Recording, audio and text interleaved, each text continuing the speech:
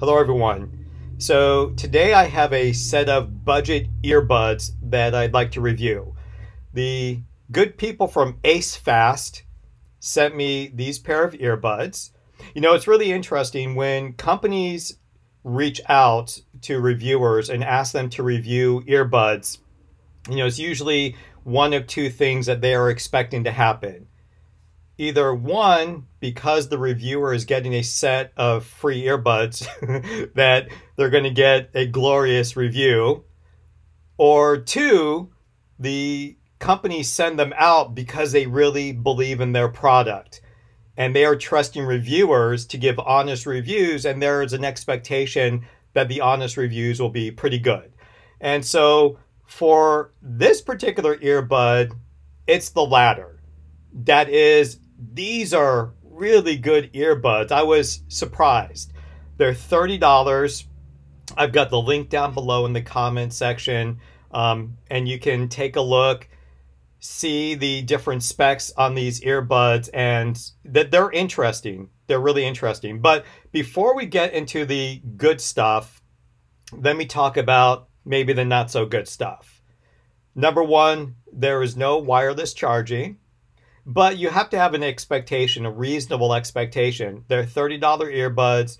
There's not a lot of $30 earbuds that have wireless charging, and this is one of them. Two, they don't have ANC. And again, we're talking $30. But now, with that said, although there's no ANC, the passive noise isolation of these things is actually really good. They're the traditional, or I should say now traditional stem type earbud. They fit very cleanly and nicely into your ear. And when you put them in, the, the passive noise isolation is actually really impressive. Now, although they don't have ANC, what they do have is ENC. And ENC is a is environmental noise cancellation. And with environmental noise cancellation, this is really for phone call making. So if you're out and about outside, you take a phone call, you make a phone call, the ENC is supposed to block out environmental noise. Now, I can say I tried this out and it did an exceptionally good job. In fact, I was at home, I was in the laundry room, turned on the fan, called my son, turned off the fan and on the fan while I was talking to him, and he couldn't perceive any difference in how I was sounding. I sounded good. There was no fan noise. When I went outside and the cars drove by and the wind was blowing, once again, the response was really good. So the ENC on these, these things works pretty, pretty good. There are four microphones. It does a nice job in getting rid of environmental noise. So it does a really nice job canceling that stuff. Okay, let me get into all the good things because the rest is really good. And once again, I was pretty surprised. Now, typically, these type of earbuds is not necessarily my lane um, because for me, this whole channel started because I was looking for earbuds for me. And I've got to be honest, lately I've been using the Bose QC. I've been using the Jabra Elite 85T. I've been using them for bike riding. And I'm going to have a separate video on which one is best for bike riding. But that's what I've been using because that's typically what I've been looking for for me, right? But every now and again, you come across a really good set of budget earbuds and you say, wow, I, I don't necessarily need to be spending all this money if something this good can be found for this price. Now, in this area or in this genre of budget earbuds, Earfun is the big name, right? We've tried Earfun. Earfun's gotten a lot of really good reviews, a lot of really good press. They're inexpensive, they have a lot of bells and whistles. But I sort of have a theory with Earfun. What Earfun tends to do with their earbuds is make it really dynamic sounding, meaning they push out the bass. So if you like bass, especially in a gym situation, then the Earfuns sound great. The problem with the Earfuns, though, once you put on an Earfun, and then once you compare it to a balanced earbud, you can really see the difference. So Earfun pushes out bass, they retreat the mids. And again, it's not a particularly balanced sound. The curious thing with these, these Acefast, is it's balanced. I, I was so pleasantly surprised. I put them on.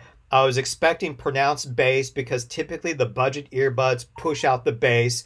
But in this instance, it wasn't that bassy. I mean, it was bassy, it was good bass, but it was also balanced. So if you like vocals, if you like mids and highs, these are really something that you should explore because I think you're going to be pleasantly surprised.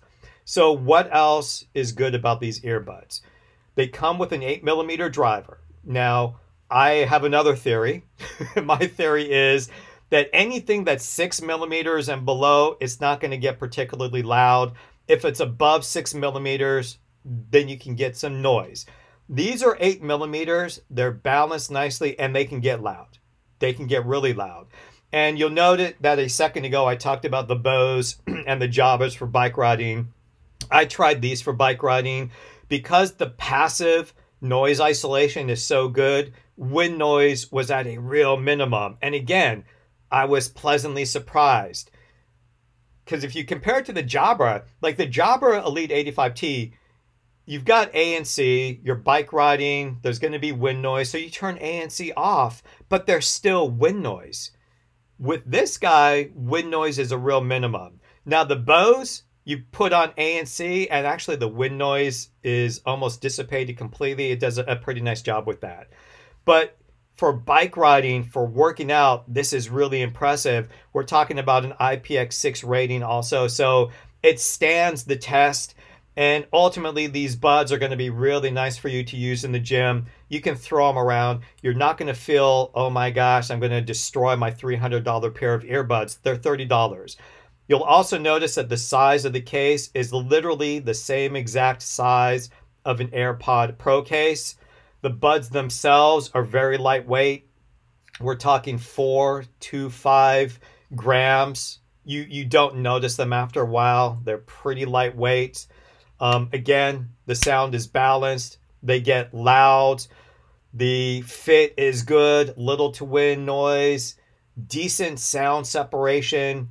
Again, I was so pleasantly surprised with these. I, I really have to say, and again, I'm not saying this because Acefast sent me these. I mean, they're thirty dollars. I could I could have purchased them myself, and I would have been just as satisfied. But again, this is a company who is saying, we've got a product, we're sending it out. We understand it's only $30, and we're taking the risk that you could say this is not a good budget buy. But they know they've got a good product. They've got an 8 millimeter driver, it's well balanced, it's lightweight, it's comfortable. That's really great. I do have one gripe besides the other gripes. Although, you know, wireless charging not really is a particular gripe for me. I can do with it or without it. I do have to say it's very convenient to have wireless charging, but that's never been a deal breaker for me. ANC is not a deal breaker either because the passive noise isolation is that good. The thing that bugs me a bit is there's no volume control on the earbud. So, what controls do the earbuds have? Well, they've got a very nice touchpad, by the way, which is quite sensitive. They have start music, pause music, track forward, track back, and I can call up Siri, or if you're an Android user, you can call up your Google or or whatever it is that your headphone concierge is, right? And, and it does a nice job. Three taps for Siri, I called up Siri. I'm on a bike ride. I'm connected to Apple Music. I can say play whatever song I want because it's going to be there and it plays it and it does a really nice job.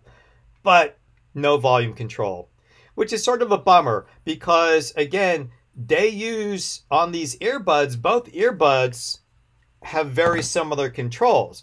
The left one and the right one will do something different in terms of track forward and track back. But Siri, triple tap on either one. Play pause, um, single tap on either one. I would hope that they could have put at least something for volume control, like left tap one up, left right right tap one down. That would have been really cool.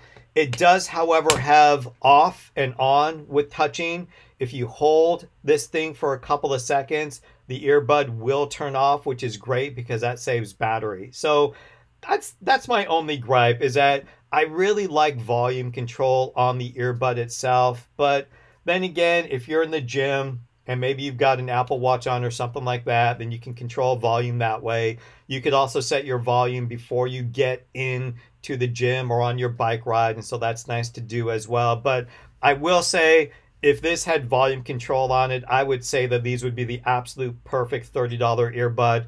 But because of that, they're not quite perfect, but I do not hesitate at all to recommend this earbud. It's really impressive, I, I have to say, for $30.